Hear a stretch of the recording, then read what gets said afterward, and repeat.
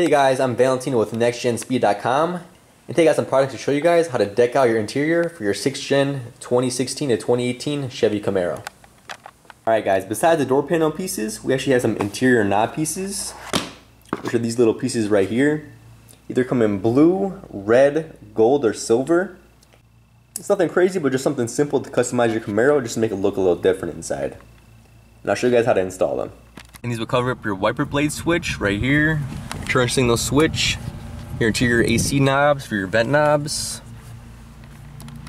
and pretty much just the main knobs in your car.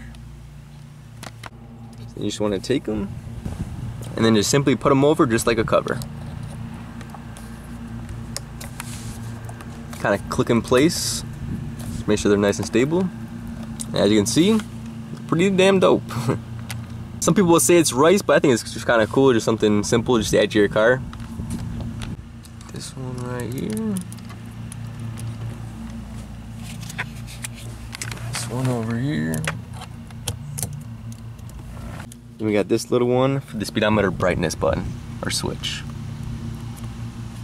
And there we go. Pretty much takes five seconds to install. Pretty damn easy, and just makes it pop out a little bit Got the blue on there, blue on there. Now I need some carbon fiber. If you're interested in these, check out nextgenspeed.com and we'll hook you up.